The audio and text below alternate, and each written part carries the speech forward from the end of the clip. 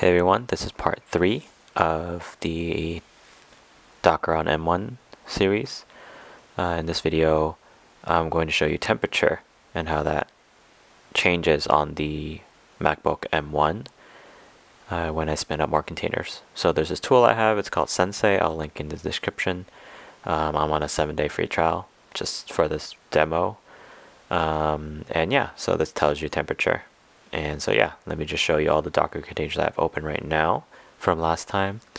And I think I just turned on my computer for now, so um, yeah, so I don't think Docker's running yet, so let me let me set that up. Uh, okay, cool. So it looks like Docker is set up now, um, and I had let's see, one, two, three, four, five, six, seven containers running last time. Um, yeah, I don't think any of these are actually running. So I'm actually just going to clear this out so I can start with a clean slate. So uh, yeah, let me let me remove a bunch of this, and also wanted to give you guys a reference point of you know what what temperature uh, my machine is right now, and kind of um, what's going to happen as it um, does more work. So right now it's 120 degrees F.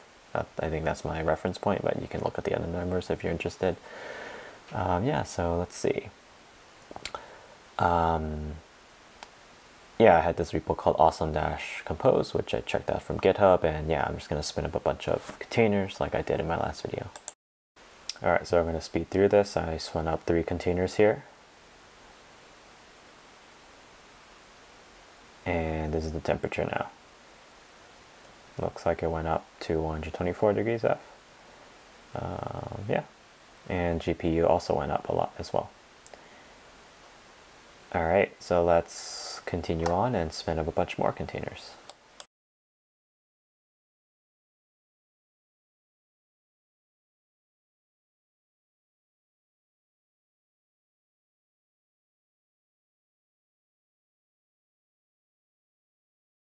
Uh, cool, I've also pulled up the cores so y'all can see it. So yeah, it looks like um,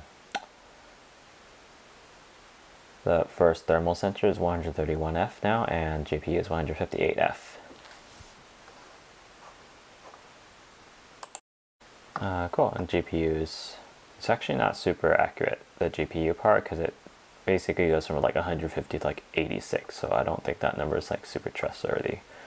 Um, so anyway, just adding a few more containers here, um, just fixing some that same WordPress issue. And yeah, let's run that. And once that's out, let's check the thermals. Here's all the containers that are open and yeah, GPU dropped to 80. Oh, there we go. It's like fluctuating between 86 and 156. So I actually don't know how, how good that is. Um, but yeah, I think that on the left side, 133F is like a little higher. And here's a sense of um, the CPU load. And here's a take here's a look at the memory. Uh, so yeah, that's pretty much all I want to show you in this video. Um, I think it's up to you to see how you interpret these numbers. For me, it feels a little warm when I touch my laptop, and yeah, realistically, I don't really see myself having all these containers uh, for my professional development. Usually, I only need like three or four um, in a single Docker Compose file, and that's kind of what I need for my development work uh, but, but that may be different for you. So um, yeah, up to you to judge whether you want to buy a MacBook Pro or kind of wait until um, this software gets better, um, or if you want to higher like RAM amount for your MacBook Pro. Right now, this is the 8 gigabyte one, and maybe you need the 16 gigabyte one um, if you have a you know bigger workload. Uh, but yeah, anyway, uh, that's all I have for this video. I'm going to keep it short. Um, again, if you have suggestions, please leave a comment. Uh, thanks for watching.